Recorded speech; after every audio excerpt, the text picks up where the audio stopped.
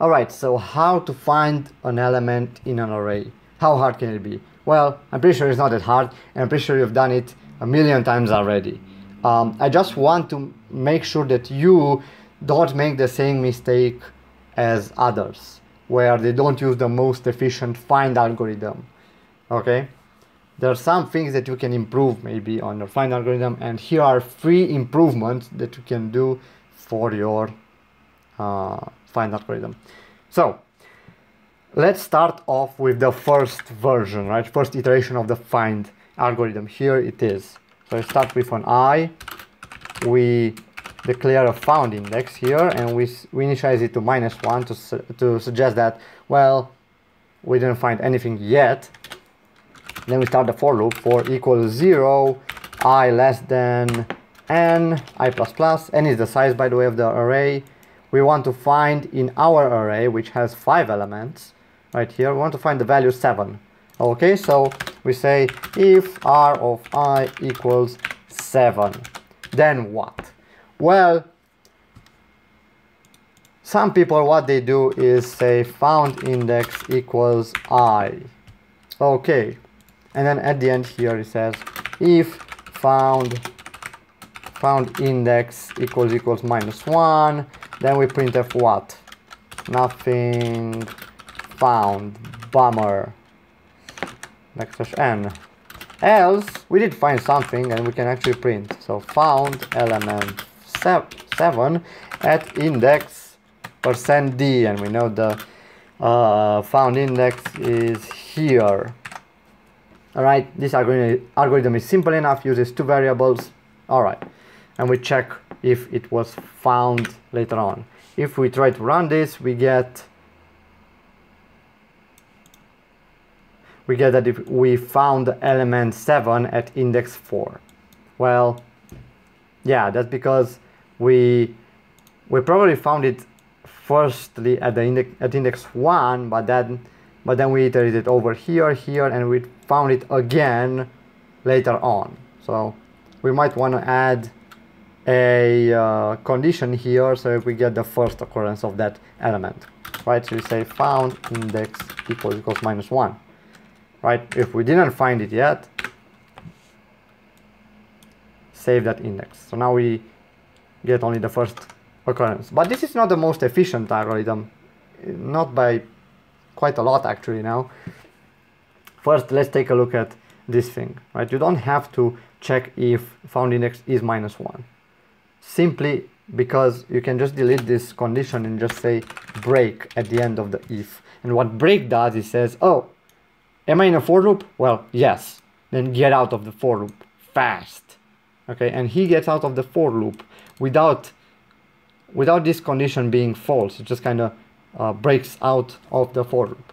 Okay, and now if you notice, this algorithm would work the same way, but there's a key difference here which you won't notice if you work with uh, small arrays. The time it takes to use this find algorithm is much smaller than um, the one before it without the break. Because we go over the first element we check if r of first element is 7 it's not. We go over the second one and we say oh r of i is 7 give me that found index and break out of the for loop and the for loop is not not executed anymore. And these three elements are not iterated over. Okay so that's precious CPU time that we we actually save by doing this. So make sure you break out of this. All right so that's the first improvement that you can do. Next up. Well you see this code? Well it has two variables. I don't like it. Why does it have two variables? I don't know why because we can simply delete this thing altogether and delete the found index since we won't be using it anymore then you ask, well, how do you even check if there was an index found? Well, that's a little bit tricky, but you have to look at um, exactly at how the for loop works, right? So it says, okay, well, i is 0, it, check, it checks r of 0. Is that 7? No. Okay, then go forward, i plus plus, i less than n, i is less than n. Okay, cool. Then we go r of 1, i is now 1. Is that 7? Well, it is. So break. And it goes over here. And here, the key thing is that i is now at the index that you were looking for or you were looking beforehand. So i is going to be i is going to be equal to 1 which is amazing right? Because now we can actually print the element right? We can say instead of found index we can say i. But how do we know that we found something right? Well if we didn't ever break this means that we there's one more way we can get out of this for loop which is by uh, evaluating this expression to false. Okay?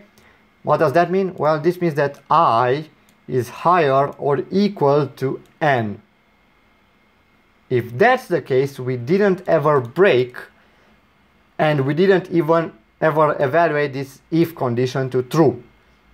Okay? This means that we didn't find 7 this means that this condition is equivalent to saying found index equals minus 1. So you can say i higher or equal than n. Okay. And now you can actually run this code and what do you know? It gives us the exact same result, which is absolutely great. So that's the second improvement that you can do. Now you can use this actually to get not only the first occurrence of the element, but also the last one. So you can do i equals n minus 1, i higher or equal than 0, and i plus plus. And that would break, but it would break on the first element from the end, right? Because we're iterating from the end, we don't iterate from the uh, beginning.